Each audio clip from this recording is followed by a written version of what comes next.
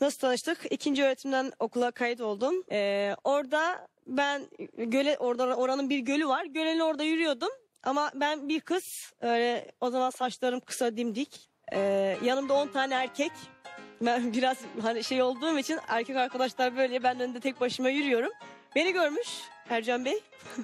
Demiş ki "O bu, bu kız kim böyle? Sonra haber falan gönderdi. Beni takip etmeye başladı. Okuldan çıkıyorum. Bakın bir araba beni takip ediyor sürekli. Sapık gibi. Müzik ses son ses gene böyle.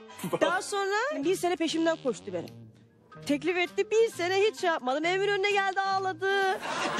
doğum gününde gelmiş. Ee, ben Adana'dayım buz pateni yapıyordum o zaman. Beni arıyor doğum günün kutlu olsun ama benim telefonum kapalı. Telesekreter o zaman telesekretere bağlanıyor. Telesekreter bacı. Ne olursun ona söyle telefonunu açsın bir kere bana. Desin ki diyor. Çok güzelmiş be. Kaç defa böyle. Sonra e, E, telesekreter bacı bunları sana söylemedi mi? ben dinlemiyorum ki ben. Sonra.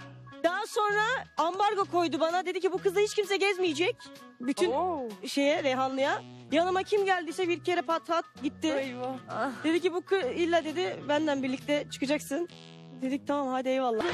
Kaldır kolunu hadi.